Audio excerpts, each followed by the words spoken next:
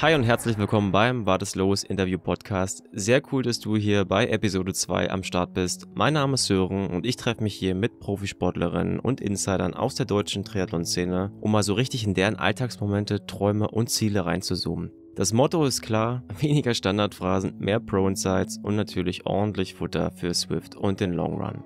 Am Ende der ersten Folge habe ich ja bereits einen kleinen Teaser zum heutigen Gast gegeben. Es ging um die Schlagworte Young Gun und eines der größten Talente im deutschen Triathlon.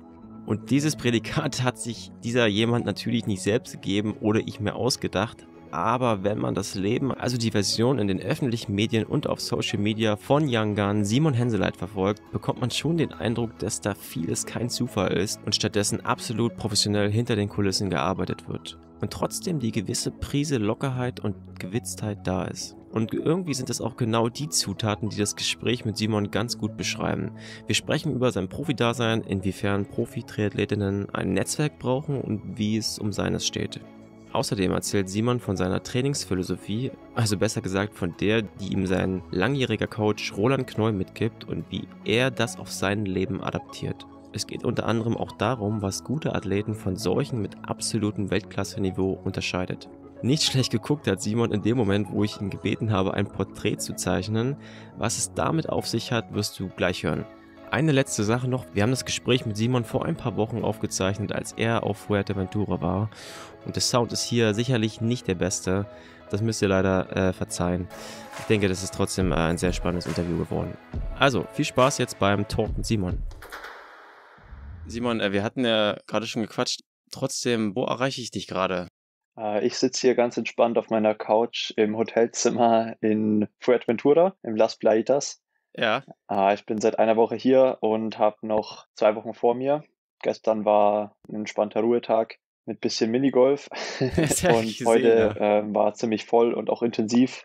Aber ja, genau, also ich sitze hier entspannt am Fenster. Also falls die Vögel laut zwitschern, liegt es daran, dass ich hier die äh, tatsächlich die Fenster ja, offen habe, damit, es, noch, ja. damit es WLAN reinkommt.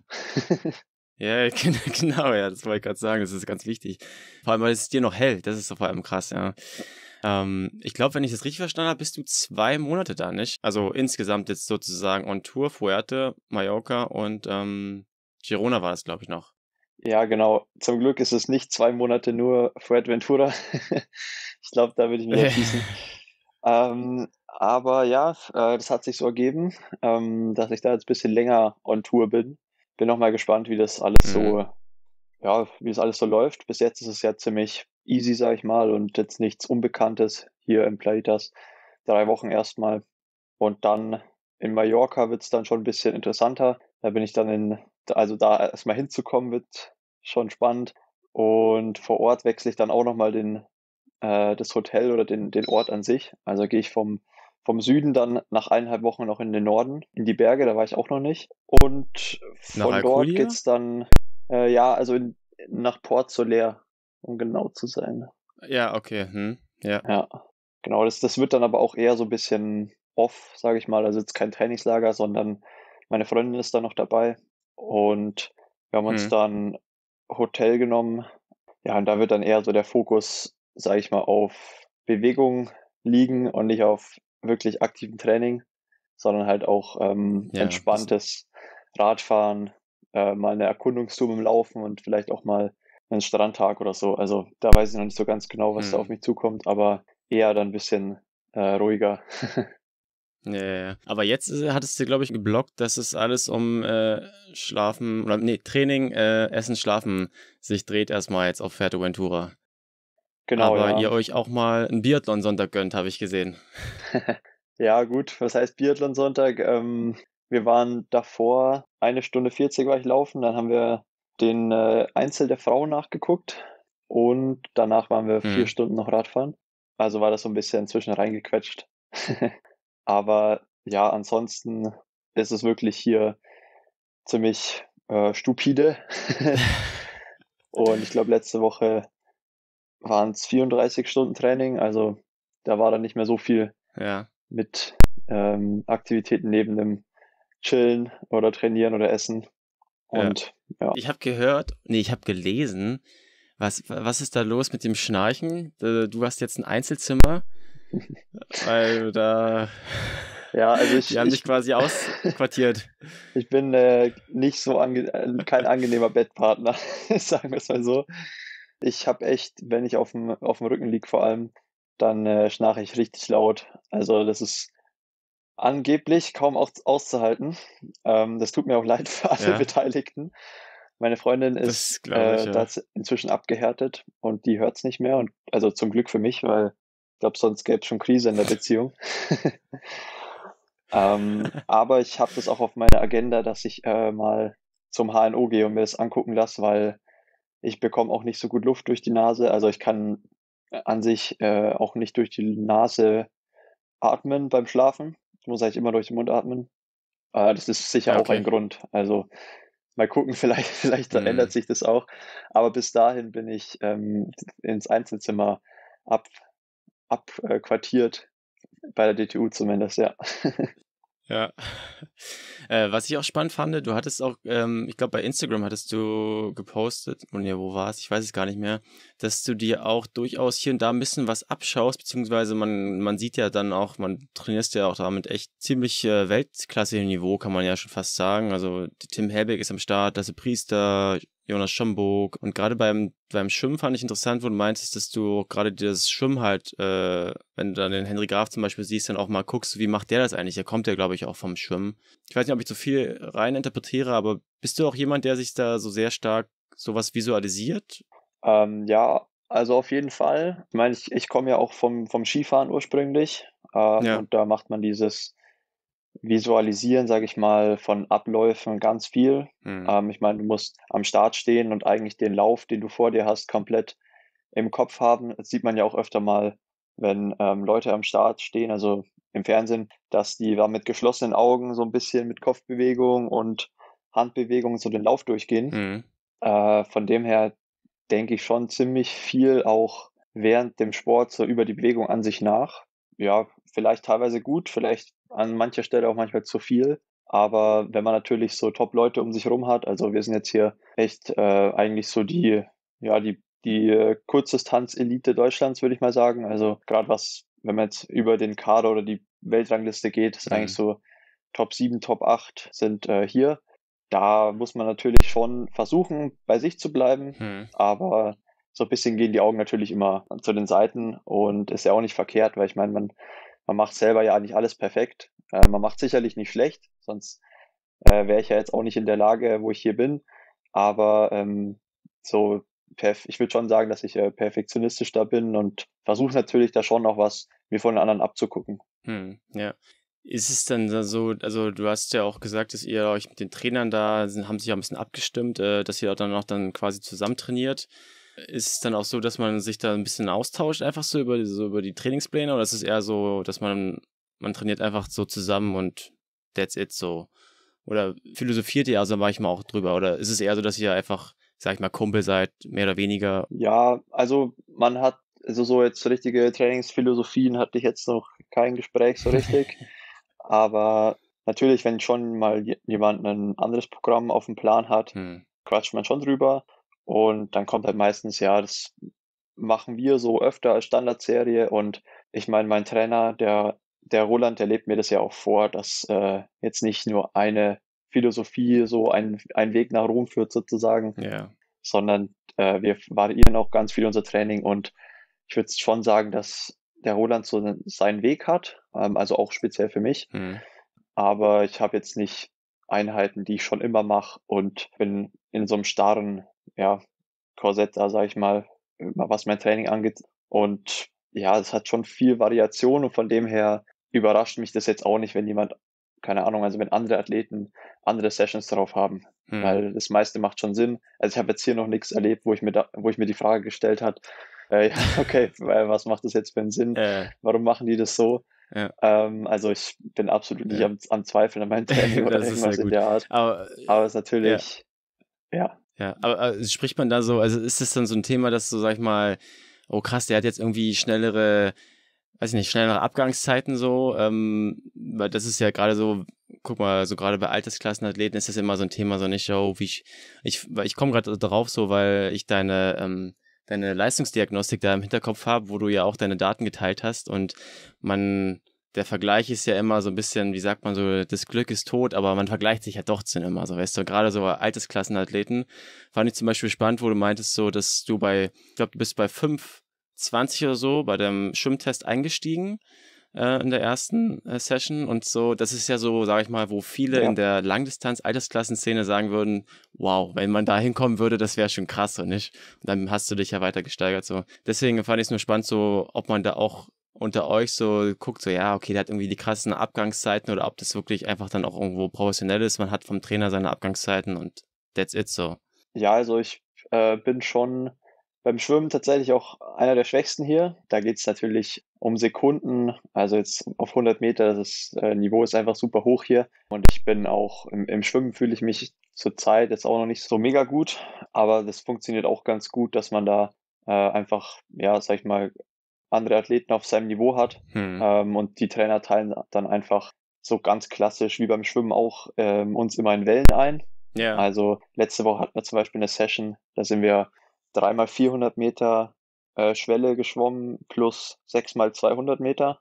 Hm. Und da hat halt die, die erste Welle, also die ersten vier Jungs, da halt so Tim Hellweg, Jonas Schomburg, Henry und ich weiß gar nicht, wer noch in der ersten Welle mit war, aber die sind halt dann auf ich glaube, fünf Minuten 20, äh, fünf Minuten 25 abgegangen und wir die zweite Welle auf fünf mhm. Minuten 30. Also es sind halt dann fünf Sekunden und wir hatten halt dann auch fest unsere Vorgaben. Wir sollten 4,55 schwimmen, plus minus paar Sekunden.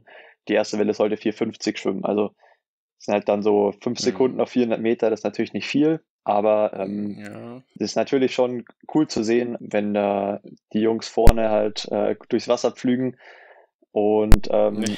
ja, wenn man selber halt dann nicht so einen ganzen so einen guten Tag hat, dann pusht es einen natürlich, wenn man sieht, okay, die Jungs neben mir, die sind ungefähr mein Niveau, hm. da ja, da zieh mir, da lasse ich mich jetzt mitziehen so. Hm. Ja, ich glaube, du hattest ja auch mal gemeint, es gibt, ähm, würde ich auch dann sp später nochmal drauf kommen, aber mit dem Kadersystem, das ist ja auch letztendlich nur so, ja, es werden ja nur ein paar Leute unterstützt, supported und dann muss man sich ja auch mit denen vergleichen, letztendlich nicht, die jetzt so auch in deiner Altersklasse sind und Wort Olympia und so. Das ist ja auch wahrscheinlich auch fördernd einfach. Ja, ich meine, im Endeffekt ist es immer noch äh, Leistungssport und halt ein, ein Einzelsport. Also man muss schon einfach sein Ding machen. Aber hm. klar, die Konkurrenz ist natürlich schon da. Ähm, und man muss halt versuchen, das aber auf den Wettkampf, also so gut es geht, auf den Wettkampf zu begrenzen. Äh, klar, ist im, im, Training ist es die eine Sache halt zu performen und abzuliefern. Aber es, ja, es ist, die Kunst ist es eigentlich, dass man sich im Training immer vielleicht eher zurückhält. Es ist meistens smarter und dafür halt dann im Wettkampf abliefert und performt. Und das ist halt dann auch das, was zählt und was nach außen kommt. Auch wenn man halt über Trainingsergebnisse sich viel Selbstvertrauen noch holen kann, muss man halt letztendlich dann doch mhm. äh, sehen, dass es im Wettkampf dann passt auf den Punkt. Ja. Dann, ich fand es sehr spannend auch, äh, ist auch nicht, nicht ganz ernst gemeinte Frage gleich, aber ich habe gesehen, dass ihr ja Zuwachs bekommen habt jetzt bei der Papa Roran Crew und der, der Jonas Schomburg jetzt, ja, kannst ja gleich mal sagen, so mehr oder weniger, glaube ich, jetzt bei euch dabei ist. Und ich hatte mich gefragt, so, ja, wie, wie du das jetzt empfunden hast, ob es, also mein Gedanke war, ob es jetzt irgendwie geil ist, so mit so einem Olympioniken trainieren zu können. Letztendlich ist es ja auch, auch nur genau wie du, chase ja quasi so seinen Traum, so nicht. Aber ist das so ein Qualitätsgewinn, wo man jetzt sagen würde, wie beim Fußballclub so, hey geil, geil, dass jetzt so ein starker Athlet auch in unsere Gruppe dazugekommen ist? Wie, wie, wie war so dein, deine Reaktion drauf? Äh, ja, also auf jeden Fall. Ähm, so, ich finde es immer cool, wenn ja starke Athleten zur Gruppe dazustoßen. Das ist eigentlich immer für die Gruppe von Vorteil hm. Weil, wie gesagt, man, man sieht einfach, okay, der ist erfolgreich, der macht es im Training so und so, also es hat seine Art im Training. Man muss es jetzt nicht eins zu eins kopieren, aber man kann sich natürlich schon Dinge abschauen. Also man vielleicht manchen hilft es, wenn man sieht, okay, der ist vielleicht im Training gar nicht so weit weg von meiner eigenen Leistung, beziehungsweise verausgabt sich jetzt im Training nicht immer völlig und mhm. weiß, wann es eben wichtig ist, ja, wirklich mal ähm, alles aus sich rauszuholen oder 100 Prozent halt zu geben. Aber weil meistens hm. ist es halt im Triathlon so, dass man halt eine Vorgabe hat. Und das Wichtige ist halt, dass man in seinen Bereichen trainiert. Und die Bereiche sind halt auch viel was ähm, Schwellentraining oder vor allem halt GA1 angeht, also locker. Und da sieht man halt auch oft, dass die richtig guten Athleten auch im, im lockeren Training sich halt wirklich auch äh, ruhig bewegen. Also dass man nicht immer so ein bisschen das Gaspedal schon, mit dem Gaspedal schon spielt im, im lockeren Training, sondern ja. dass man halt auch wirklich mal da chillen kann. Und in Jonas Fall, äh, den, ich kenne ihn ja schon ja jetzt nicht mega lang, aber über die Super League auch. Und so ein paar mhm. Wettkämpfe mhm. haben wir auch schon zusammen gemacht. Also ich äh, kenne ihn schon relativ gut. Von dem her weiß ich auch schon so, wie er tickt und was er halt macht. Von seinem, deswegen war es jetzt nicht so, sag ich mal, äh, das mega, mega Event, dass er jetzt äh, bei uns mittrainiert, sondern ähm, er ist ein guter Kumpel von mir und ich habe mich eigentlich eher so, ja, nicht nur sportlich, sondern auch menschlich halt gefreut, dass er jetzt dabei ja, ist, klar. vom Roland trainiert wird. Und gerade jetzt hm. hier in Fuerte haben wir halt eigentlich eins zu eins den gleichen Plan und sind viel zusammen am Trainieren. Ja, sehr krass. Und ist es deswegen auch, äh, dass du, ich glaube, ähm, Girona ist ja äh, Jonas auch, oder? Hat er auch schon trainiert. Ist es deswegen, dass ihr auch dann da noch äh, seid in der dritten Station? Ähm, der Jonas hat in, der hat in Girona auch eine Wohnung inzwischen. Also okay. Also der ist eigentlich, ja, schon einen Großteil der Zeit auch dort im Jahr. Und die, wir waren letztes Jahr im September, glaube ich, und Oktober, drei Wochen lang in Girona mit der Trainingsgruppe mhm. von Nürnberg und haben da einfach mal das Gebiet ausgecheckt und so ein spätes Trainingslager in der Saison gemacht. Und es hat uns einfach ja ziemlich gut gefallen. Wir waren da beim Frodo untergebracht in der La Comuna. Ach, geil. Und von dem her Krass, machen ja. wir das und jetzt dieses Jahr wieder so. Ja, ja, der, äh, ich meine, der Roland hat den ja trainiert früher, auch zu Olympiazeiten und ist ja, ja. Äh, also er hat öfter mal bei uns vorbeigeguckt und der sitzt auch wirklich ziemlich oft äh, unten in seinem eigenen Café halt in der Laguna ja, okay. und kommt da eigentlich immer nach dem Schwimmtraining hin und äh, trinkt da Kaffee und äh, snackt da sein Avocado-Toast mit, mit Ei. Okay, das ist spannend. Also, äh, ja, ja das, das saß eigentlich immer vor, vor meinem Fenster unten. Hat mit Krass, irgendwelchen ja. Typen gequatscht. ja. Also, ihr habt euch auch schon ein bisschen austauschen können, so Insights-mäßig. Ja, also der ähm, Roland ist ja noch äh, gut mit ihm, also er hat nicht mehr so viel Kontakt, hm. aber ähm, er hat es auch äh, für uns organisiert, dass wir da bei ihm im Hotel sein können zu einem guten Preis. Also äh, ja. kann ich, glaube ich, an der Stelle sagen, dass wir da nicht den vollen Preis gezahlt haben. Damit äh, ja, war es dann auch für uns finanziell äh, stemmbar oder halt eine, eine Erleichterung. Ja. Aber also für jeden, der mal überlegt nach Girona und ob das wirklich so den Hype wert ist, kann ich schon auch sagen, dass, dass ich es echt cool fand. Und mhm. auch in der La Comuna, äh, finde ich, passt eigentlich echt alles. Also es sind coole Apartments. Man ist äh, vom, von der Lage her ziemlich zentral, aber ist auch gleich mit dem Fahrrad draußen. Also es, äh, mir ja. hat es echt gut gefallen und ich freue mich auch schon wieder äh, dahin zu kommen und da zu trainieren. Man hört es von immer mehr Leuten jetzt. Äh, aber das ist interessant, dass du das auch so bestätigen kannst. Ich hatte mir auch überlegt, okay, wen lade ich denn ein? Und da kam ich auch auf dich, Simon. Ich hatte überlegt, wo habe ich denn dich zum ersten Mal oder wo bist du mir zum ersten Mal aufgefallen? Und ich glaube, das war nämlich bei den äh, deutschen Meisterschaften, bei den Berlin Finals hießen sie, glaube ich, 2019. Und das war, da bist du, äh, das war nämlich, wir waren dann nämlich als Altersklassenathleten davor auf der Strecke und dann habe ich mich schnell auf die Tribüne da begeben und habe das nämlich noch verfolgt. Und du hattest, glaube ich, den Sprint äh, um Platz zwei oder drei war das, glaube ich. Und 2019 war ja auch ein sehr, sehr erfolgreich, ich, wahrscheinlich sogar dein erfolgreichstes Jahr. Und da warst du sozusagen so der Platzhirsch, kann man das so sagen, oder? So deine AK. Letztes Jahr Junioren. Ja, ähm, genau, könnte, könnte man so sagen. da war ich in den meisten Rennen bei den Junioren dann der Sieger sozusagen. Also ich bin ja auch deutscher Meister in den, bei den Junioren geworden. Und ja. äh, bei der Europameisterschaft und der Weltmeisterschaft war ich siebter und zehnter. Wobei ich da, äh, da war der Erik Diener noch vor mir auf Platz neun. Also da, das war das, das Einzige, was geschlagen wurde sozusagen.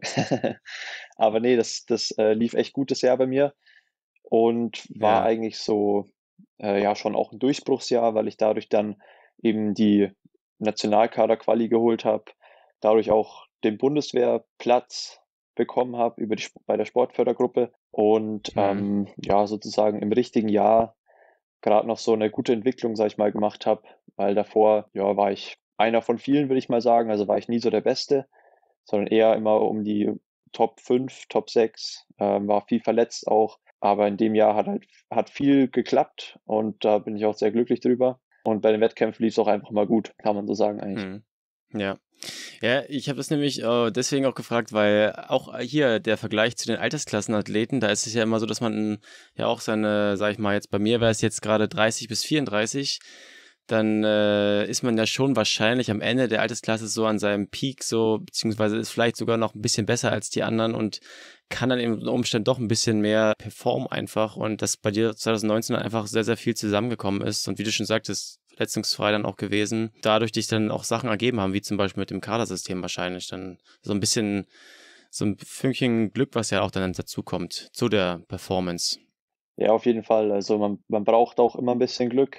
Man hat natürlich nicht immer nur eine Chance, also im Idealfall. Hm. Manchmal hat man vielleicht wirklich nur eine Chance.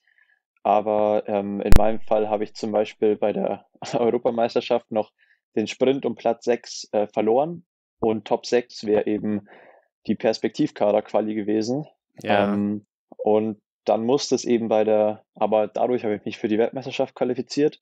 Aber bei der musste ich dann in die Top 10 kommen, sonst hätte ich mir die Quali auch nicht geholt. Und dann bin ich halt wirklich auf dem Punkt Zehnter geworden.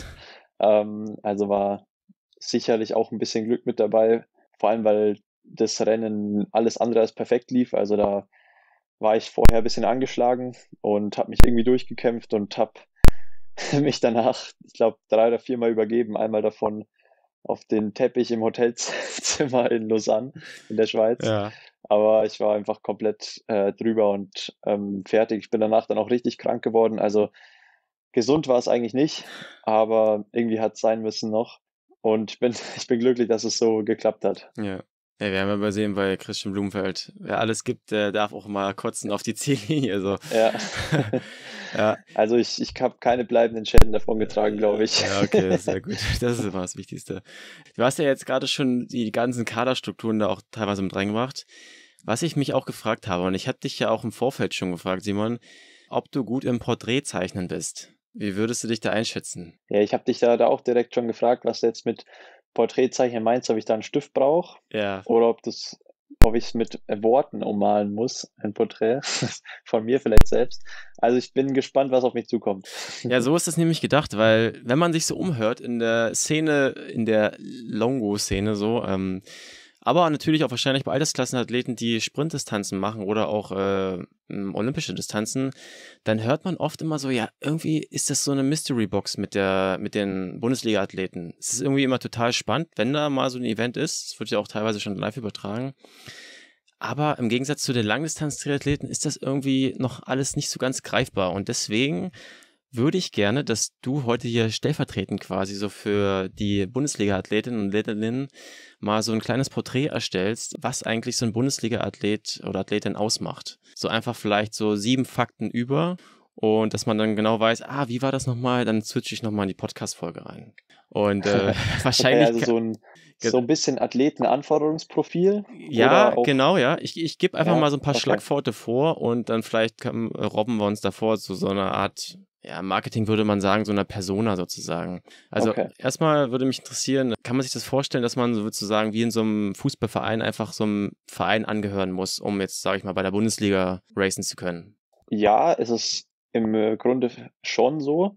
Allerdings darf man sich eben nicht so vorstellen, dass man wirklich auch mit den Leuten trainiert, die ähm, mit einem Bundesliga-Team sind, okay. sondern ähm, es ist eher so eine Zweckgemeinschaft, die dann zusammen an der Startlinie steht, aber nicht zwangsläufig auch eine Trainingsgruppe ist. Also zum Beispiel in meinem Fall, ich komme aus Nürnberg, trainiere in Nürnberg, aber Bayern hat leider keinen eigenen ersten Bundesliga-Verein. Mhm. Deswegen wurde ich sozusagen von Neckarsulm aus Baden-Württemberg eingekauft ah, und habe okay. dort mein Zweitstallrecht. Also mein Heimatverein ist Schongau in, äh, in, in Bayern. Die haben allerdings nur eine Regionalligamannschaft und als ich dann eben, dort bin ich auch mal eine Saison gestartet, aber als ich dann, als es absehbar war, dass ich Bundesliga-Niveau habe, bin ich ähm, dahin gewechselt, weil ich dort einfach Kumpels habe, die auch, die ich vom den Nachwuchswettkämpfen kannte vom Deutschen Jugendcup. Hm. Und genau, das heißt, man kommt einfach für die Wettkämpfe zusammen steht dann gemeinsam an der Startlinie und hat ja noch ein cooles Wochenende zusammen, hm. weil man ja meistens schon ein, zwei Tage früher anreist und performt da dann eben so, ja, je nachdem, wie das Format eben aussieht. Es gibt ja auch unterschiedliche Formate in der Bundesliga. Race dann eben entweder für sich oder auch mit dem Team für den Verein, wo man gemeldet ist. Hm. Okay, es ist interessant. Also, da werden also auch schon Spieler oder, was heißt Spieler, Athleten abgekauft. Das wusste ich auch noch nicht. Ist das, ist das gängig oder machen das einige? Äh, ja, also es ist eigentlich, es gibt wenig Mannschaften, die wirklich komplett mit Eigengewächsen, sag ich mal, oder hm. eigenen äh, Nachwuchssportlern dann oder eigenen Profis an der Startlinie stehen.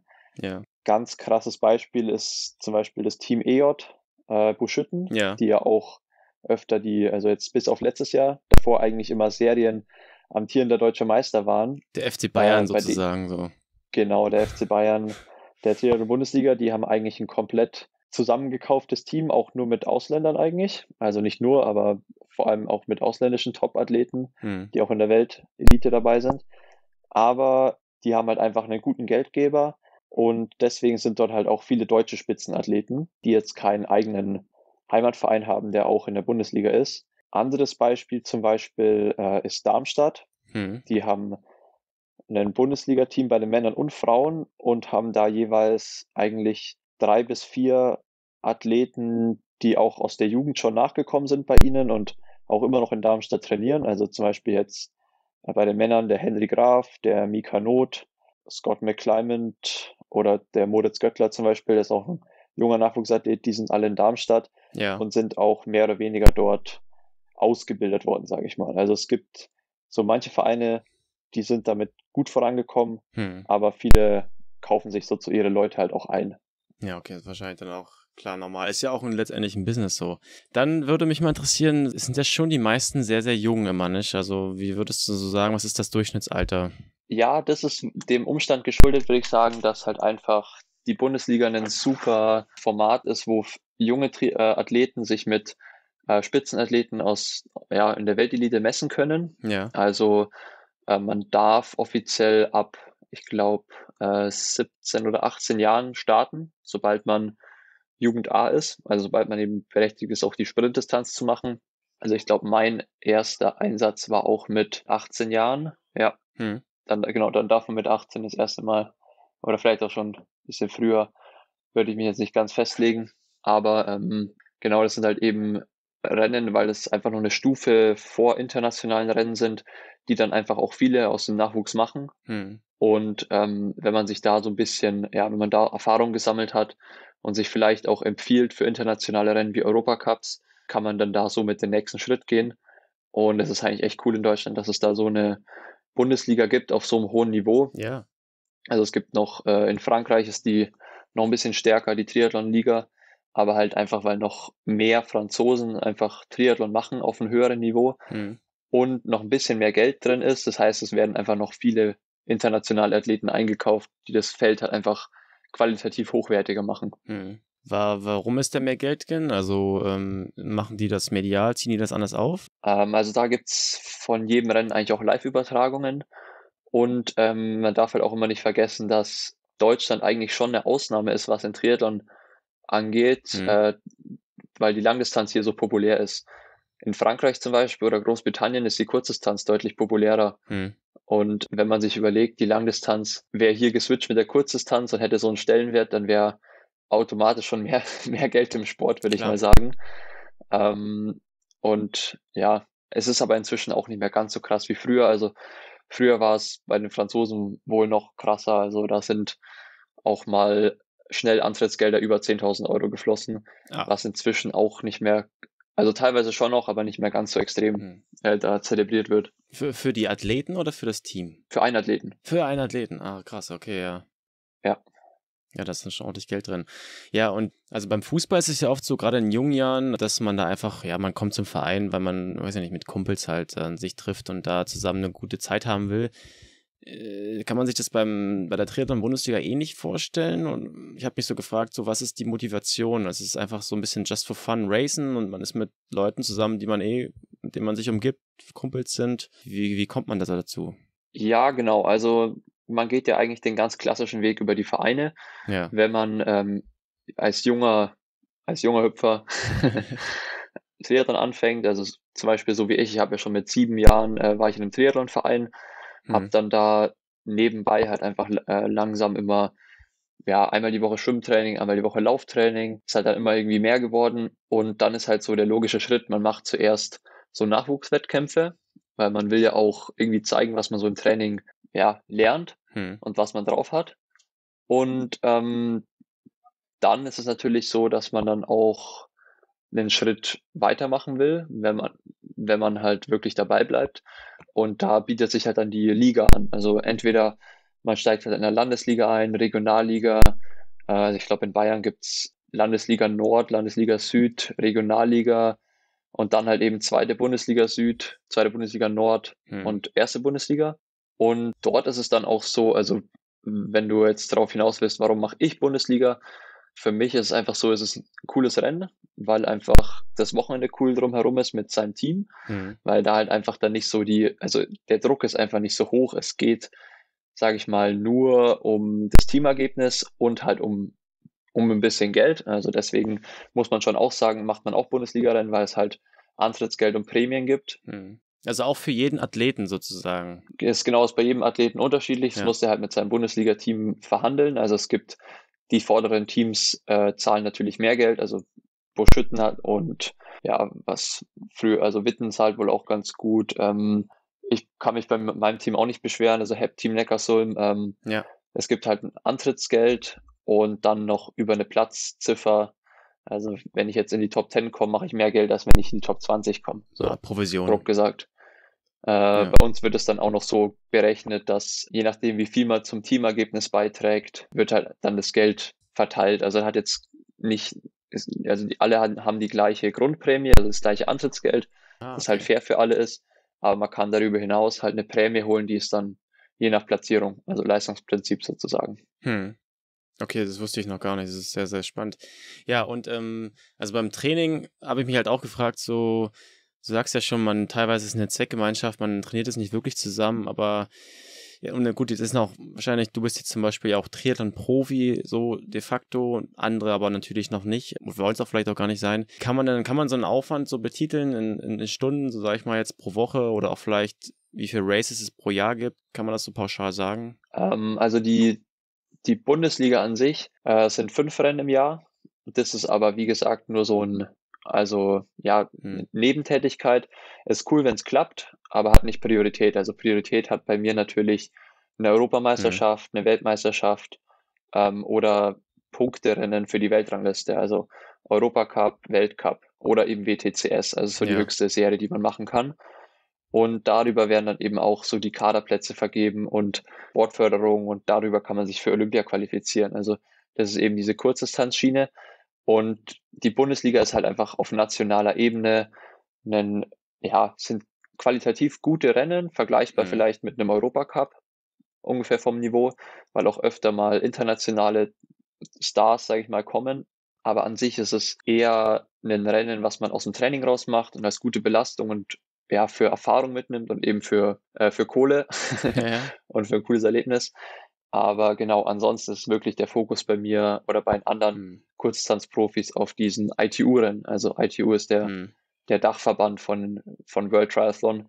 Und ja, so Stundenaufwand in der Woche ist ganz unterschiedlich. Davor habe ich ja schon gesagt, ja. diese, also letzte Woche habe ich 34 Stunden trainiert. Das war aber jetzt schon wirklich obere Grenze. Also viel mehr mache ich eigentlich kaum. Ich glaube, ich habe einmal eine Woche letztes Jahr, war ich mal bei, bei 37 Stunden, da war aber wirklich kaum Intensität dabei. Also da ging es eigentlich hauptsächlich um Grundlage und um Kilometer sammeln. Äh, wenn Intensität dabei ist und ich zu Hause normal trainiere, dann bin ich so bei 25, 26 Stunden, also reiner Trainingszeit. Hm. Da kommt dann natürlich noch Physiotherapie dazu, dann die Wege zum Training, äh, Nachbereitung wie Dehnung, äh, Reboots, keine Ahnung. Äh, Podcast. Podcast, genau. also die ganzen ja. anderen Sachen, die äh, sind jetzt nicht aufgelistet, das ist wirklich nur reine Trainingszeit. Und hm. da bin ich, glaube ich, auch im Wochenschnitt ungefähr letztes Jahr rausgekommen, so zwischen 20 und 25 Stunden, weil man natürlich in einer Rennwoche äh, deutlich weniger trainiert, um halt also so klassisch tapert halt und ähm, ja. sich dann halt fürs, um für, fürs Rennen dann frisch zu sein. Hm. Äh, und das, ich glaube, dritte Frage hattest du noch, wie viel Rennen man macht. Letztes Jahr waren es bei mir relativ viele, weil ich einfach äh, in der Weltrangliste mich vorarbeiten musste, weil es mein erstes Jahr bei der Elite war. Hm. Und ich glaube, ich bin äh, 13 oder 14 Rennen sogar gestartet. Davon war eine Mitteldistanz und zwei olympische Distanzen und ansonsten eine Sprintdistanzen. Hm, das ist, okay, ja, ist schon sportlich. Dann ist es halt das Thema, du hast ja gerade schon gesagt, das Kadersystem also ich ziehe auch hier wieder den Vergleich so zum Fußball, weil es vielleicht auch einige so ein bisschen ganz gut einordnen können. Da ist es ja nur so, wenn man jetzt im Bundesliga-Verein spielt, dann haben ja wahrscheinlich die meisten so dieses Ziel, halt in die Nationalmannschaft zu kommen. Und da habe ich mich gefragt, ob es jetzt auch so, gerade bei Bundesliga-Athleten, Athletinnen, so schon ein Thema ist, so irgendwie da reinzukommen oder ob es prinzipiell erstmal nur ja, einfach eine, eine Leidenschaft ist, so ein bisschen Triathlon, wie, wie ich schon meinte, so mit Leuten zusammen zu sein, die man mag, äh, und ob dieses, dass dieses Kadersystem wahrscheinlich jetzt doch für gar nicht so viele so ein Thema ist. Oder wie, wie, wie kann man das so sehen? Ähm, also wenn man es professionell macht, dann ist es schon ein absolutes Ziel, auch im Kader dabei zu sein, weil ja. über den Nationalkader ähm, einfach auch die, ja, die Förderung sehr gut ist. Also man hat äh, Bundesstützpunkttrainer zur Verfügung, ähm, bekommt Sporthilfe, Unterstützung, bekommt finanzielle Unterstützung für Trainingslager und äh, Wettkämpfe.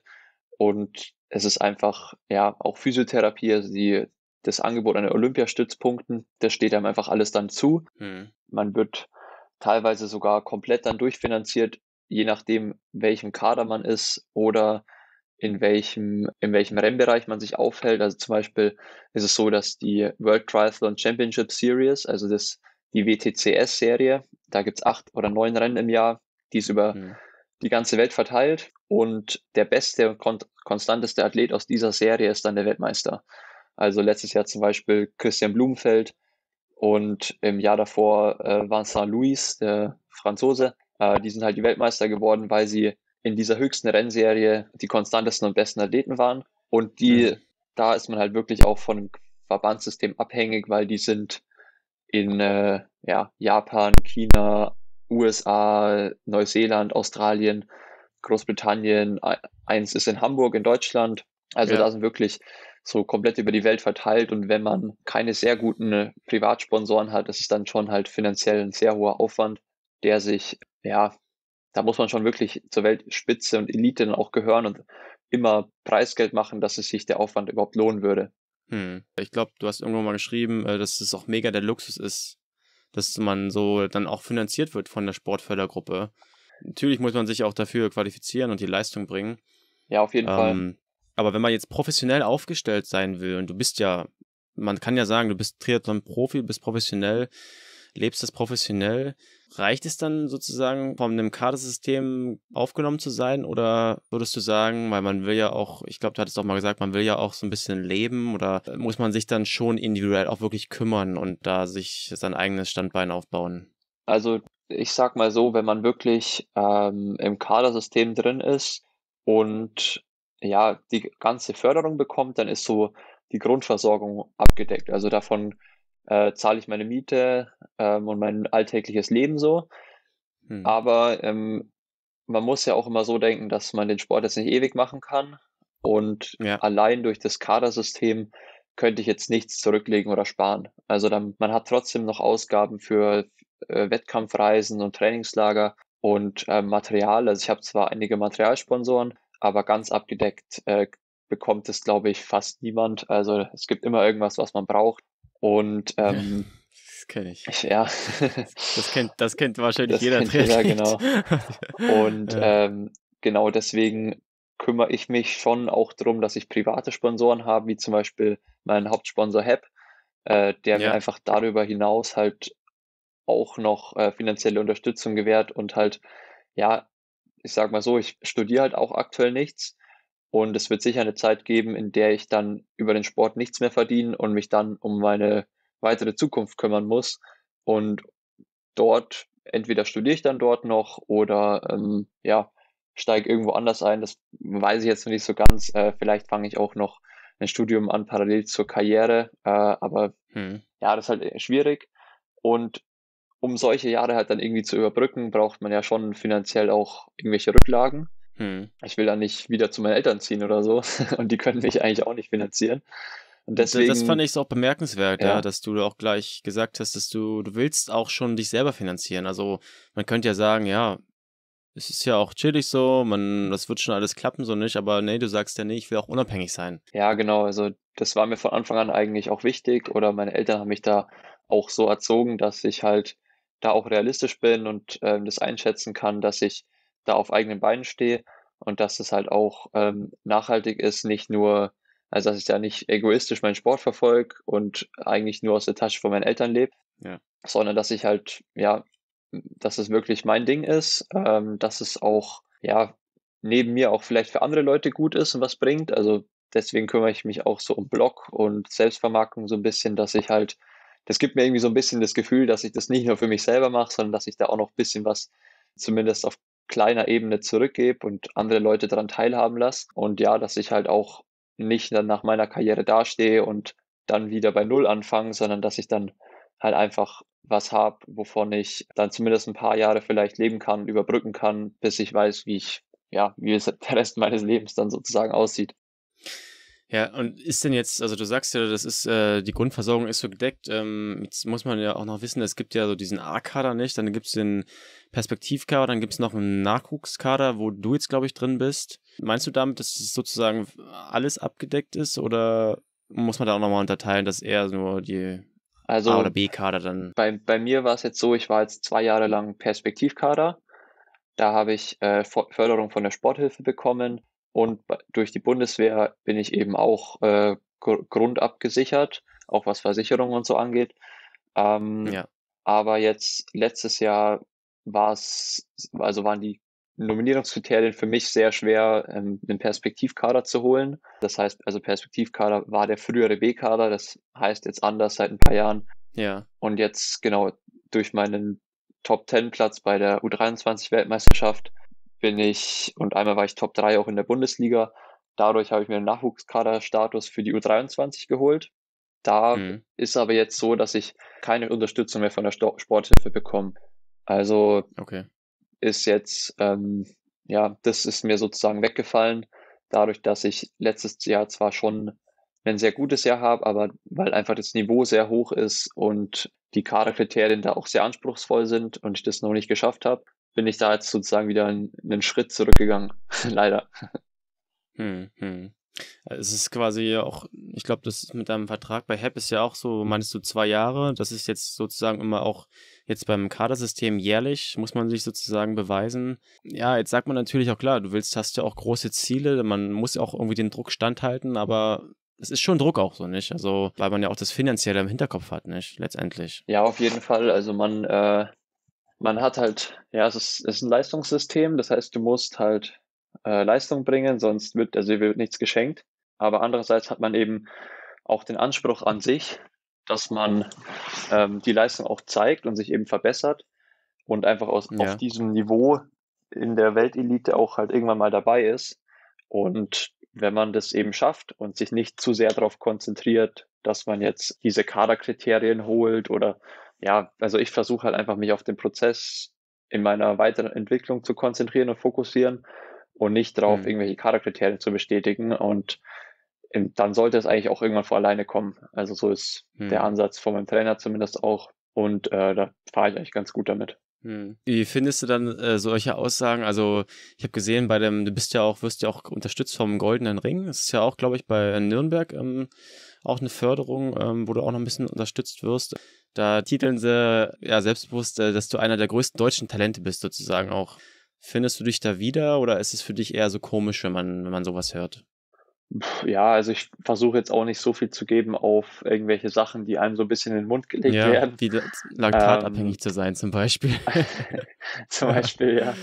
Aber ja, man, also klar, wenn ich jetzt nicht, wenn ich nicht selbstbewusst wäre oder ähm, meine Ziele kennen würde, dann wäre ich nicht an der Position, wo ich jetzt bin. Und von dem her denke ich, könnte man schon sagen, also würde ich schon auch die Behauptung so unterschreiben. Ich meine, ich war letztes Jahr so hinter dem Tim Hellwig äh, eigentlich der zweitbeste ähm, Athlet der Deutschen in der U23. Mhm. Und das ist ja der Nachwuchsbereich, würde ich mal sagen. Also es ist schon Elite, aber eben noch äh, Jungprofi sozusagen, wenn man es so ausdrücken mhm. will.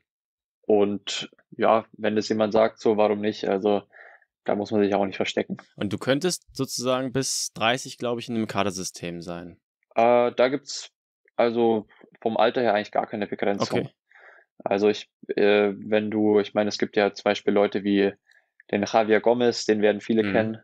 Äh, der war ja jetzt, ich glaube, aktuell ist er 36, 37, ich bin mir nicht ganz sicher. Aber der hat bis letztes Jahr noch Kurzdistanz gemacht mhm. Und war in Spanien sicherlich auch noch im äh, Kadersystem und in den Förderungen. Also solange man eben auf der Kurzdistanz dabei ist und seine Leistung bringt, ähm, ist man auch in dem äh, System dabei. Hm. Ja, und dann fand ich es ja auch so spannend, wo du auch mal gesagt hättest, dass du auch durch deinen Trainer vom Team, vom Hep-Team, äh, vermittelt wurdest, eben an diesen äh, quasi für ein Einzelsponsoring, was ja dann wieder so auch darauf schließen lässt, dass man eben auch so sich einfach zwangsläufig auch ein Netzwerk aufbauen muss. Da kommt ja auch das Thema letztendlich wieder Selbstvermarktung, ja, einfach Social Media etc. auch ins Spiel. Und ähm, du hast ja auch gesagt, es ist halt, gehört halt auch dazu und man muss es eben auch mehr oder weniger bespielen, wenn man erfolgreich sein möchte, oder? Ja, absolut. Also ich, äh, meine Kontakte sind nicht nur im Sport alles, sondern ja auch in der normalen freien Wirtschaft, äh, im Berufsleben.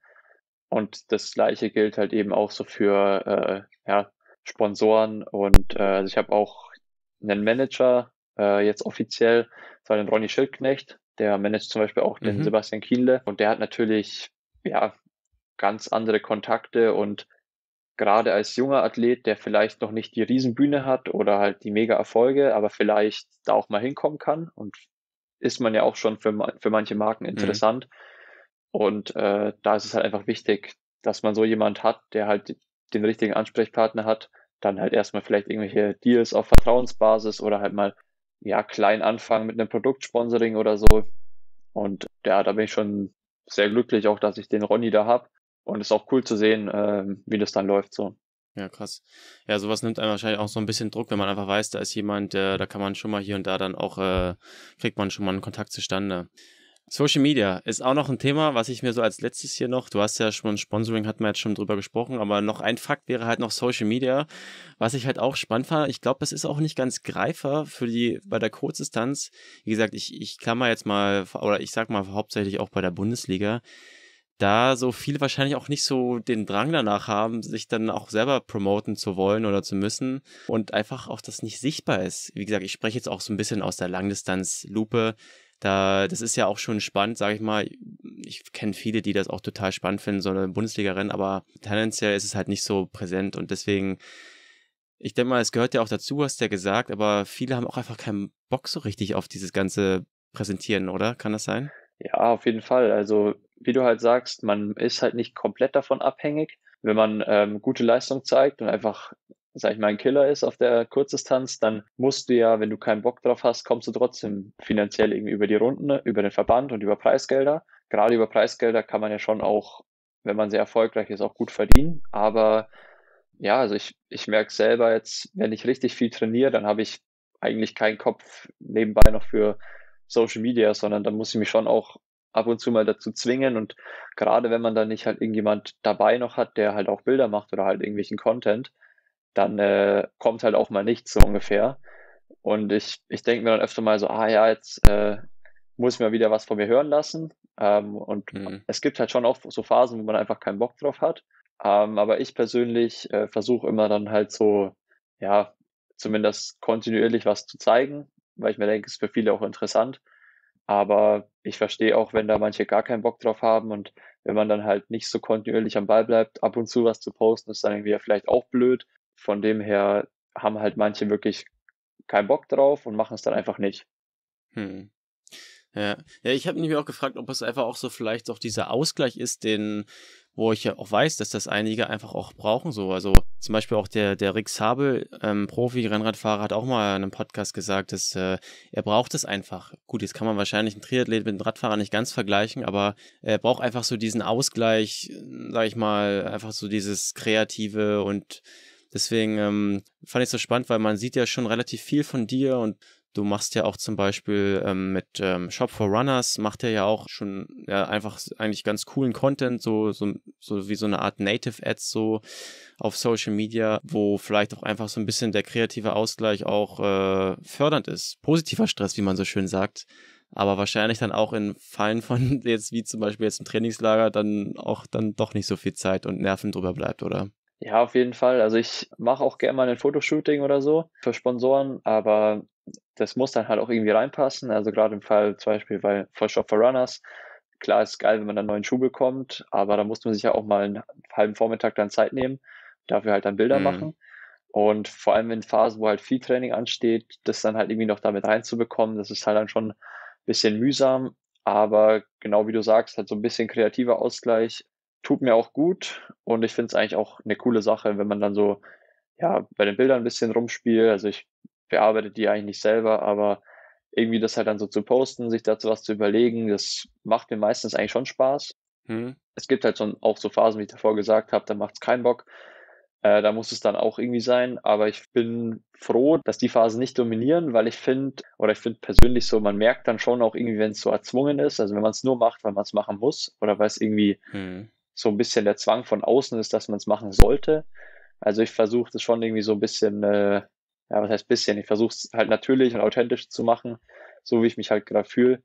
Und wenn halt mal nichts kommt, dann äh, kommt halt nichts, weil ich keinen Bock drauf habe. Aber ähm, ja, an sich ist halt schon wichtig, es gehört einfach dazu, wie du gesagt hast. Halt auch vor allem eben für diese Einzelsponsoren ist es wichtig.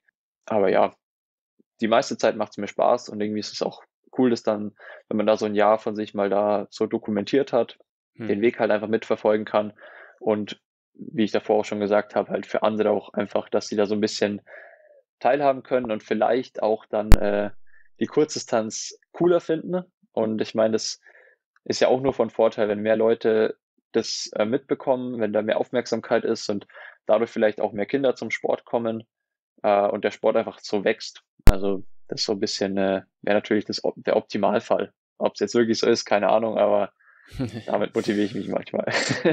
hm. ja, das ist interessant, weil ich glaube, das ist wahrscheinlich auch schwierig, den Vergleich zu ziehen zwischen Kurz- und Langdistanz, weil, weil du ja auch gerade sagtest, ähm, es ist nicht unbedingt wichtig, weil du, ihr werdet ja eh teilweise vom Verein oder vom Kader aufgefangen und dann ist man so ein bisschen abgesichert und beim Langdistanz äh, ist man ja schon so ein bisschen so ein, so ein Einzelunternehmen. Ja. Und äh, da gibt es zum Beispiel auch, ähm, ich weiß nicht, ob du den Franz Lötsch, Löschke kennst, ähm, war ja auch, äh, wahrscheinlich kennst du natürlich, ja. er war ja auch im Kadersystem etc. Und er gibt ja auch selber zu, er hat einfach nicht so Lust auf Social Media und etc. Und da ist es zum Beispiel jetzt so, und es gibt auch einige andere Profi-Triathleten, wo jetzt die These aufgestellt werden kann, dass eben Leistung nicht reicht und dass man eben auch medial aufgestellt sein muss, um eben langfristig professionell aufgestellt sein zu können. Und ähm, deswegen ist es wahrscheinlich auch gar nicht so unsmart, da eben auch vielleicht schon in, in jüngeren Jahren ähm, da die ersten ja, Wege quasi so für sich zu ebnen. Nicht? Ja, auf jeden Fall. Also es gehört inzwischen einfach mit dazu. Ähm, also ohne geht eigentlich nicht mehr. Ähm, aber wie gesagt, also ich bin, mir macht es eigentlich auch Spaß mhm. und ähm, es ist ein, eine Art von Ausgleich. Also es ist sicher kein richtiger Ausgleich. Da würde ich eher so Sachen nennen wie mal schön essen geht mit meiner Freundin äh, oder ein Buch lesen. Also es ist halt trotzdem immer noch Triathlon bezogen, aber es ist einfach ein bisschen was anderes und gibt einem auch irgendwie, ja, teilweise auch mal ein ganz gutes Gefühl. Ja, ja, äh, Simon, ich habe hier noch äh, zwei, zwei Sachen noch ein bisschen auf der Agenda. Ähm, und dann ist es ja das große Thema Olympia, nicht? Also jetzt hatten wir ja gerade äh, mit dem Norboys äh, alles verfolgt. Da das äh, war ja dann auch so, wurde ja auch so ein bisschen schön skizziert. Ich glaube, es war auch dann wirklich so mit diesem Zehn-Jahres-Plan und hat wirklich alles so hingehauen. Und da habe ich mich auch immer so gefragt, so, es hat echt, das ist, glaube ich, echt schwer, sich so richtig lang motivieren zu können. Nicht? Ähm, wahrscheinlich muss man auch mal da irgendwie ja so kleinere Ziele. Und äh, deswegen ähm, Hast du das im, hast du das im Hinterkopf oder ist es eher so, dass du sagst, ey, ich will jetzt erstmal Jahr für Jahr meine beste Performance liefern? Ähm, ja, also Olympia ist schon, glaube ich, von jedem das große Ziel, wenn man die Kurzdistanz macht. Also es ist einfach so das, das Highlight, das ganz große, der Traum, wofür man lebt und äh, arbeitet. Aber natürlich, wenn ich jetzt auf so eine Saison wie nächstes Jahr gucke, denke ich nicht an, was macht mich, also was kann ich jetzt perfekt machen, dass ich bei Olympia dann erfolgreich bin oder dass ich mich für Olympia qualifiziere, sondern dann mhm. ist natürlich schon so Teilstep, okay, erstmal muss das Training laufen, erstmal die Basics im Winter setzen und dann im Sommer ähm, Highlights ausgucken, okay, was sind dieses Jahr meine Ziele äh, bei Wettkämpfen, wo will ich fit sein. Ähm, dieses Jahr werde ich zum Beispiel das erste Höhentrainingslager mal einbauen, also zumindest ist jetzt so der Plan. Mhm. Und äh, das, den Rest überlasse ich eigentlich meinem Trainer, der dann halt so mein Training strukturiert, dass ich jetzt nicht dieses Jahr meinen Peak äh, meiner Karriere habe, sondern halt, dass ich langfristig aufgebaut werde und immer noch ein bisschen Luft lasse, dass halt ja noch, dass mich noch steigern kann und dass ich mich langfristig entwickle und nicht jetzt äh, kurzfristig möglichst viel trainiere, um halt dieses Jahr vielleicht mein möglichst gut zu sein, aber keine Ahnung, was danach kommt, so ungefähr. Mhm. Ähm, also das würde ich eher so meinem, würde ich eher sagen, dass es mein Trainer in der Hand hat, die langfristige Planung. Und ich selber schaue, ähm, was motiviert mich für dieses Jahr, äh, was kann ich für coole Wettkämpfe machen, mhm. ähm, wo will ich fit sein und alles, was dann so langfristig Richtung Olympia geht, 24, wahrscheinlich eher 28 so ungefähr. Äh, mhm. Das wird halt dann so in der langfristigen Planung vor dem Trainer umgesetzt. Es ist wahrscheinlich auch da wahrscheinlich interessant zu sehen, dass jetzt mit dem Jonas ja auch einmal ist, der jetzt auf einmal schon da war, so nicht? Und man sich ja auch austauschen kann. Und ist es dann, ist es wirklich noch so dieses, so dieses Wow, äh, was man so gerne mal erleben würde, wie, äh, ich meine, du brauchst jetzt hier nicht aus dem Nähkästchen plaudern, aber hat das so Jonas auch so ungefähr so empfunden? Ich meine, ihr tauscht euch ja aus. Äh, wie ja, also beim Jonas muss man natürlich jetzt sagen, ist, bei ihm war es ein bisschen bitter, weil Tokio natürlich sicherlich nicht normale Olympische Spiele äh, waren. Und Na ich glaube, ja. ich kann es für ihn schon mal so vorne wegnehmen, dass er 24 noch machen will und da hoffentlich in Paris ähm, normale Spiele so vorfindet mit Zuschauern und Publikum. Klar. Aber natürlich ist er in einer ganz anderen Phase von seiner Karriere. Das ist natürlich auch spannend für mich. Und da sieht man natürlich auch so, ja, okay, was, ähm, was hat er so für Deals am Start und welche Marken hm. repräsentiert Wie er? Wie funktioniert das vor allem auch so nicht? Also auch wieder da? Genau. Das Netzwerk. Wie ist hm. es halt bei ihm so? Welche Kontakte hat er und auch was macht er im Training? Hatten wir ja vorher schon so ein bisschen und aber wie ist jetzt auch so sein Mindset? Also was, was treibt ihn jetzt so an? Also bei ihm ist es schon auch so, dass er auch mal Bock hat, so die auf die Mitteldistanz zu gehen. Mhm. Und er wird zum Beispiel sein Rennen dieses Jahr in Miami eröffnen, also Windschattenverbotrennen. Äh, da bin ich auch mal gespannt, wie er da so performt. Das ist jetzt, glaube glaub ich, auch schon in einem Monat. Das heißt, sein Training sieht jetzt auch schon äh, in den nächsten Wochen dann anders aus als bei mir, weil er halt mhm. dann einfach schon einen Wettkampf macht auf dem Zeitfahrrad. Und ja, halt auch so das Ganze bei mit Olympia, er war schon dort, hat dadurch halt auch schon so ein bisschen eine Gelassenheit, weiß halt, was funktioniert bei ihm, wie er fit wird. Und äh, das strahlt natürlich auch eine, eine Ruhe aus und Coolness. Also da kann man sich schon auch was abgucken. Ja, total. Ja, mega gut.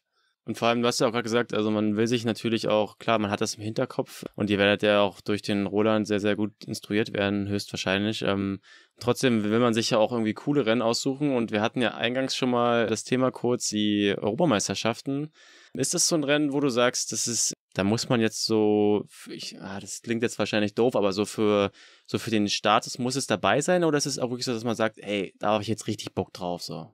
Ja, also ich persönlich habe natürlich aus ein paar Gründen da richtig Bock drauf. Also aus erster würde ich sagen, es ist mein Heimrennen eigentlich. Also ich bin eine Stunde weg von München aufgewachsen ja. und habe dort auch schon einige Triathlons gemacht, wo ich ein kleines Kind war. Auch einer meiner ersten, also ich glaube mein zweiter Triathlon überhaupt beim Olympiapark. Und dass da jetzt halt so die European Championships äh, hinkommen mit Triathlon und der olympischen Distanz und der Mixed mhm. Relay ist natürlich richtig cool. Und das ist schon so mein Ziel, mich für mich dort dieses Jahr einfach äh, dafür zu qualifizieren. Also das ist ja nämlich auch erstmal das Ding. Ich muss mich dafür Wie läuft das denn eigentlich ab? Also ich habe also ich habe mal kurz ähm, versucht zu recherchieren. Ich habe da jetzt noch nicht so viel gefunden, ehrlich gesagt. Das ist auch noch nicht ganz raus. Es wird in den nächsten äh, Tagen bekannt gegeben. Ähm, okay. Also wir bekommen jetzt auch mal vorgelegt, die Nominierungskriterien, und dann werden die final besprochen und dann wird es veröffentlicht. Wahrscheinlich aber werden ein paar Plätze über die Weltrangliste vergeben.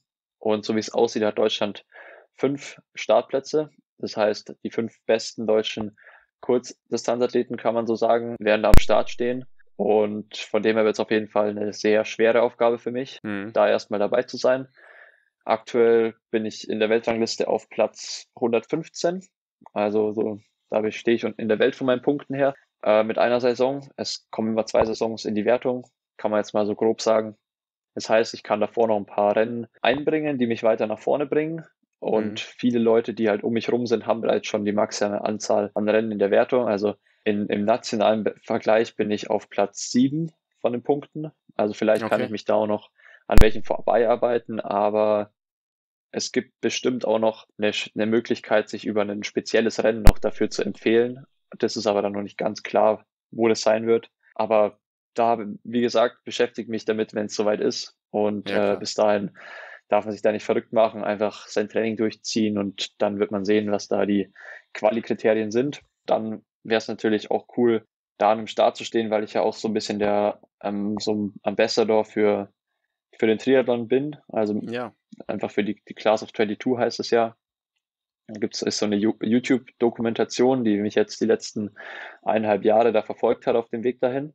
Dritter Punkt ist halt Europameisterschaften in Deutschland. Also kommt so ein bisschen zum Heim Heimrennen wahrscheinlich dazu. Also wäre wär einfach cool, da, dass da viele Leute noch zuschauen, die ich kenne. Zum Beispiel letztes Jahr war die WM ja in, in, also die Weltmeisterschaft in Kanada. Also da fliegt ja. ja dann keiner hin, um mich da zu sehen. Von dem her wäre es natürlich cool für meine Freunde, Familie, äh, mich da anfeuern zu können. Ja. Ja, aber wie gesagt, mal schauen. Ja, äh, wäre wär natürlich super bitter, wenn du quasi als Botschafter da fungierst und dann äh, da nicht teilhaben Aber ist das dann so das Quali-Rennen, ist das dann intern jetzt, wie letztes Jahr für, für ähm, Tokio, was hier da, was veranstaltet ähm, wurde, oder ist es ein externes Rennen? Nee, das wird wahrscheinlich schon eher ein externes sein. Äh, okay. Zum Beispiel die deutschen Meisterschaften in Berlin oder vielleicht ah, irgendeinen okay. Europacup, Weltcup, vielleicht, also sowas in die Richtung. Ja, ja, okay, spannend, ja.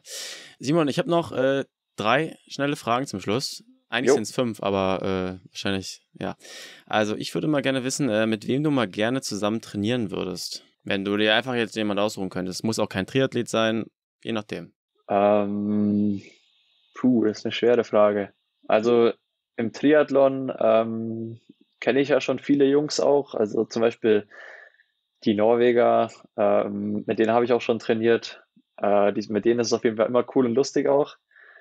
Aber da würde ich wahrscheinlich eher einen, eher einen Sportler nehmen, der so ein bisschen außerhalb aus der Triathlon-Szene kommt. Also vielleicht so, so aus, dem, aus dem Skifahren vielleicht. So den Schweizer Marco Odermatt finde ich ziemlich coolen Typen. Der mhm. ist äh, in allen Disziplinen eigentlich aktuell einer der besten. Und den würde ich mal ganz gern kennenlernen, glaube ich, so als Typen.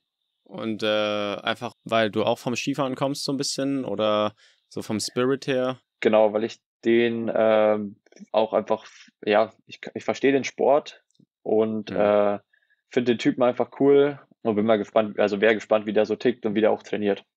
Mhm. Okay. Äh, dann, ähm, was würdest du sagen, war äh, dein größter, äh, ja, dein größter Fehler, wenn man so sagen will? Und was hast du daraus gelernt? Puh, das ist eine schwere Frage. du kannst es auch gerne auf den Sport beziehen. Ähm, ja, also ich hatte ja schon einige Verletzungen. Ob es jetzt wirklich so ein richtiger Fehler war, also so ein Moment, ob, ob man das an einem Moment festmachen könnte, weiß ich jetzt nicht genau. Aber ich hatte eine richtig äh, große Verletzung und zwar ist mir beim im Wettkampf 2017 das linke Schienbein durchgebrochen aufgrund oh. von der Überlastung. Und ähm, ich kann, also ich kann jetzt nicht sagen, ich habe nicht auf meinen Körper gehört oder so. Das war wirklich am Wettkampftag äh, kam der Schmerz eben. und ich könnte jetzt, der, der Fehler könnte ich jetzt nennen, dass ich halt da trotzdem gestartet bin. Äh, andererseits wäre wahrscheinlich, wenn ich in dieser Situation nochmal wäre, wenn mir das da wehtun würde, werde ich wahrscheinlich trotzdem immer wieder starten, weil das war ein Schmerz, den ähm, könnte man auch einfach drauf schieben, dass man so ein bisschen ja, Vorwettkampf zwicken hat, würde ich mal sagen, so beim Einlaufen, wenn man so ganz sensibel so in den Körper reinhört und da spürt man ein bisschen was. Also es war wirklich, es wäre jetzt nochmal ein ganz neues Fass, was ich da aufmache. Es war ein medizinisches Phänomen, wie das passieren konnte, könnte man so sagen. Okay. Meine Knochendichte war da auch sehr gering zu der Zeit.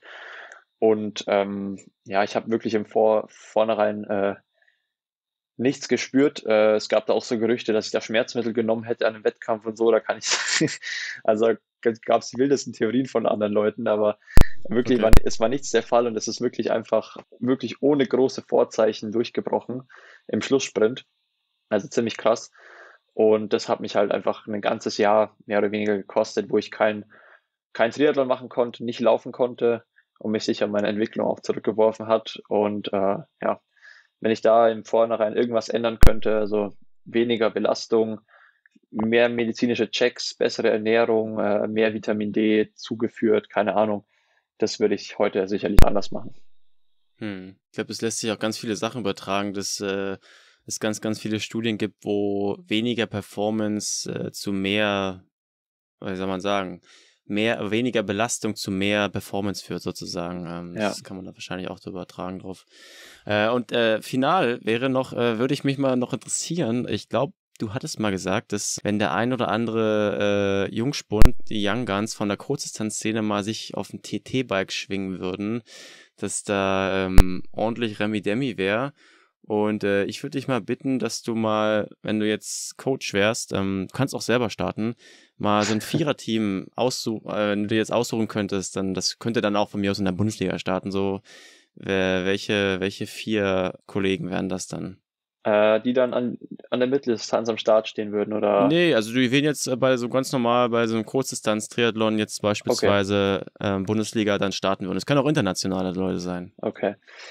Ähm, ja gut, also als ersten würde ich auf jeden Fall den, den Tim nehmen, Tim Hellwig, der ich meine, der hat letztes Jahr Hamburg gewonnen, WTCS-Rennen mhm. als richtig junger Athlet.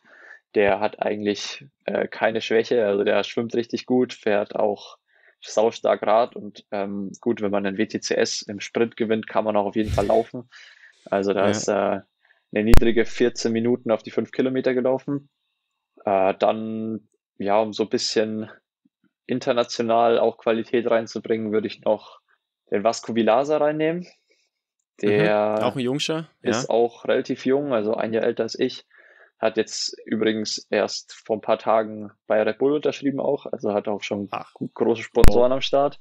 Wow. Äh, der ist auch bei der Super League schon sehr erfolgreich gewesen und war vor äh, zwei Jahren sogar schon Vize-Weltmeister auf, äh, in einem einmaligen Rennen, aber damals war es ein bisschen anders. Aber ja, der ist auf jeden Fall auch sehr gut, kann auch richtig gut Rad fahren. Dann äh, ja, so ein, würde ich auch den Schombi mit reinnehmen, so als All-Star. Jonas Schomburg. ist schon ein All-Star, ist auch ist ja nicht mehr der, ist ja nicht jetzt kein, äh, nicht mehr meine Altersklasse so, aber ja. äh, der ist immer gut, also für Medienaufmerksamkeit, der knallt immer vorne raus oder genau. macht, macht verrückte Sachen. Also den, äh, und ist auch mit so als Typ einfach äh, richtig chillig drauf und lustiger, ja. lustiger Kumpel. Äh, mit dem kann man kann man es immer gut aushalten. Und Puh, als vierten. Ja gut, wenn ich wenn ich jetzt so sage, dann muss ich mich natürlich auch noch selbst reinnehmen, weil in dem Kannst Team wäre ich natürlich auch gern. Also ja, mit klar. den Jungs so an der Startlinie zu stehen, äh, wäre natürlich cool. Und ähm, ja, ich meine, man muss ja auch Selbstvertrauen haben. ja, natürlich, muss natürlich ja. wenn man, wenn ich, wenn man, also ich denke mir immer so, wenn man mit sehr guten Leuten sich umgibt, ähm, dann kann man sich von denen einiges abschauen und wird auch besser. Ja, du hast ja gesagt, du äh, wurdest ja auch so ein bisschen erzogen, realistisch zu sein und das ist ja auch das realistische Leistungsniveau dann letztendlich. Ja, also von denen, die sind schon mal eine Niveauklasse über mir, aber da hätte ich dann auf jeden Fall jemand, den ich ta tagtäglich sehen würde und ähm, wo, wo ich wüsste, wo ich hinkommen muss, dass es für ganz vorne reicht. ja, ja. Gut, Simon, ich, äh, ich entlasse dich. Du, bei dir steht jetzt noch Physio an, hast du, glaube ich, erst gesagt, nicht? Jetzt geht's erstmal zum Abendessen noch. Jetzt geht's nach Abendessen, genau. Ja. ja. Genau, ja, Physio, Simon, genau. Ja, quasi hier mit leeren, leeren äh, Kohlenhydratspeichern sozusagen aufgenommen. Ja, jetzt so am, am, Ende wurde mir jetzt auch schon so ein bisschen schwummrig, also. nee, alles gut. Simon, ich danke dir, ja. Ja, gerne. Danke auch für die Einladung und wir hören uns. Genau. Ciao, ciao. Das war Simon Henseleit. Vielen, vielen Dank fürs Zuhören bis hierher. Tja, also ich hatte erst im Intro ja schon angedeutet, wenn man Simons Worten lauscht und sich anschaut, wie er sich auf Social Media und Co. präsentiert, hat man das Gefühl, ein ziemlich gutes Bild davon zu bekommen, was ein aufstrebender junger Athlet im deutschen Triathlon-Zirkus braucht und sicherlich auch können muss. Ich meine, Leistung ist das eine, das ist klar, aber es braucht vor allem auch ein funktionierendes Netzwerk von Menschen, die einem vertrauen, starke Partner, die nebenbei gesagt natürlich auch nicht einfach so von allein in den Insta-DMs anklopfen und ihr Equipment und finanziellen Support sponsen, das ist auch klar. Dafür braucht es schon die Bereitschaft, über den Tellerrand des Trainingsplans zu schielen und sich mit vielen Fragen auseinanderzusetzen. Wo sehe ich mich in der Zukunft? Wie will ich später meine Brötchen verdienen, wenn man jetzt gerade so über die Runden kommt?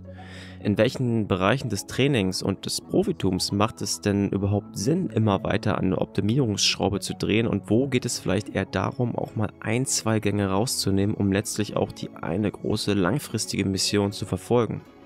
Du kannst Simons Reise natürlich auf Instagram verfolgen und wenn du noch zwei, drei Insights mehr möchtest, dann empfehle ich dir auf jeden Fall auch den IPP-Blog, wo du reinlesen kannst und Simon hier regelmäßig von seinem Training und dem Leben als Triathlon-Profi berichtet. Die Links findest du dazu in den Show Notes. Wir hören uns hier wieder in zwei Wochen in der Streaming-App deiner Wahl. Das Ding ist, dass der Teaser aus der ersten Episode zu Simon locker auch für den dritten Gast durchgeht Fakt ist, dass er zu den Top 10 der deutschen Profi-Triathleten im PTO-Ranking gehört. Also check am besten einfach War das Los Podcast auf Instagram und erfahre dort alle Updates und Teaser als erstes. Also, bis dann. Ciao, ciao.